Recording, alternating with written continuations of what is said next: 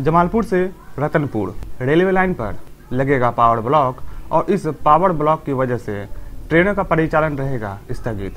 कौन कौन सी ट्रेन इस दिन नहीं चलेगी, जानेंगे इस वीडियो अपडेट में, लेकिन उससे पहले हम बात करेंगे जमालपुर नई ट्रेन की डिटेल्स के बारे में। तो चलिए शुरू करते हैं आज का लेटेस्ट वीडियो अपडेट।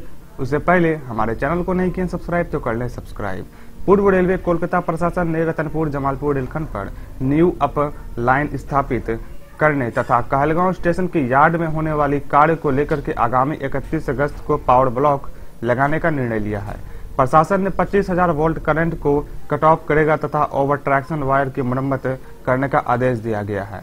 सूत्रों ने बताया कि रतनपुर रेलवे स्टेशन से जमालपुर स्टेशन के बीच पोल नंबर तीन सौ इक्यावन नाइनटीन ए और तीन सौ इक्यावन चार सौ अट्ठावन सत्तर बी के साथ साथ न्यू अपलाइन बिछाया गया है और यहीं पर पावर ब्लॉक लिया जाएगा, जिससे ट्रैक्शन कंट्रोल में मदद मिलेगी। वहीं एनटीपीसी थर्मल पावर स्टेशन की साइडिंग कार्य कहलगांव स्टेशन के बीच की जाएगी और यहाँ पोल संख्या दो सौ ए और दो सौ छब्बीस पॉइंट सेवेंटी फाइव पर कार्य किया जाएगा। गौरतलब है कि जमालपुर रतनपुर रेलखंड के बीच निर्माधीन नए रेलवे सुरंग का कार्य अंतिम चरण में है और अंतिम चरण में पहुँच चुका है। पटरी बिछाने का कार्य तेज़ी से किया जा रहा है। वहीं सुरंग के अंदर इलेक्ट्रिफिकेशन कार्य होना भी शुरू होने की उम्मीद है और अब न्यू लाइन कार्य के बाद रेलवे सुरंग बनकर तैयार हो जाएगा पूरी तरह।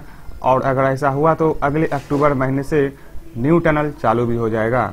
इस रूट होकर के एक टनल होने के बाद पैसेंजरों को परेशानी इसलिए होती है क्योंकि या तो एक ट्रेन को दूसरे स्टेशन पर रुकना पड़ता है, उसके इंतज़ार में ऐसे में पैसेंजरों की परेशानी बढ़ जाती है और पैसेंजरों के द्वारा जो ट्रेन में सफ़र कर रहे हैं, उन्हें समय की काफ़ी विलंब से परिचालन हो जाने से पैसेंजरों की सुविधा में कटौती होती है। ऐसे में इस ट्रेन को इस रूट पर गुजरने के लिए दो लाइन की ज़रूरत थी, जो कि अब लगभग बनकर तैयार हो चुका है, लेकिन अभी पूरी तरह सुरंग कंप्लीट नहीं हुआ है। नए वीडियो में आपको हम कई और जानकारी देने वाले हैं।